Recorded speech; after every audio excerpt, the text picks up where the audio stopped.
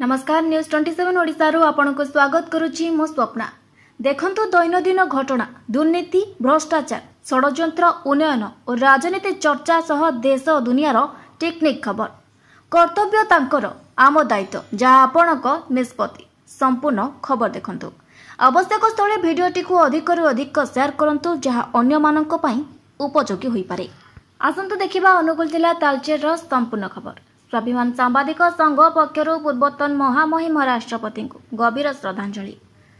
ଭାରତବର୍ଷର ପୂର୍ବତନ ମହାମହିମ ରାଷ୍ଟ୍ରପତି ଶ୍ରୀଯୁକ୍ତ ପ୍ରଣବ ମୁଖାର୍ଜୀଙ୍କ ଦେହାନ୍ତ ଖବର ପାଇ ତାଲଚେର ସ୍ୱାଭିମାନ ସାମ୍ବାଦିକ ସଂଘ ତରଫରୁ ତାଙ୍କର ଅମର ଆତ୍ମାର ସଦ୍ଗତି ଉଦ୍ଦେଶ୍ୟରେ ଗଭୀର ଶ୍ରଦ୍ଧାଞ୍ଜଳି ଅର୍ପଣ କରାଯାଇଥିଲା। ସନ୍ଧ୍ୟାରେ ତାଲଚେର ବାଇପାସ୍ ସ୍ଥିତ କାର୍ଯ୍ୟାଳୟରେ ସଂଘର ସମସ୍ତ ସଦସ୍ୟ ଉପସ୍ଥିତ ରହି ସ୍ୱର୍ଗତ ପ୍ରଣବ ମୁଖାର୍ଜୀଙ୍କ ଜୀବନବ୍ୟାପୀ ଦେଶ ପାଇଁ ତ୍ୟାଗ ଓ ତାଙ୍କର ଜୀବନ କାହାଣୀକୁ ନେଇ ଆଲୋଚନା ହୋଇଥିଲା। ପଶ୍ଚିମବଙ୍ଗରେ ଜନ୍ମଗ୍ରହଣ କରିଥିବା ସ୍ୱର୍ଗତ ପ୍ରଣବ ମୁଖାର୍ଜୀ ଦେଶର ପ୍ରତ୍ୟକ୍ଷ ରାଜନୀତିରେ ପ୍ରବେଶ କରି ବହୁ ଗୁରୁତ୍ୱପୂର୍ଣ୍ଣ ପଦବୀରେ ରହି ଦକ୍ଷତାର ସହିତ କାର୍ଯ୍ୟ କରିଥିଲେ। ପରେ ଦେଶର ରାଷ୍ଟ୍ରପତି ଭାବେ ନିର୍ବାଚିତ ହେବା ପରେ ପ୍ରତ୍ୟକ୍ଷ ରାଜନୀତିରୁ ସନ୍ନ୍ୟାସୀ ନେଇଥିଲେ।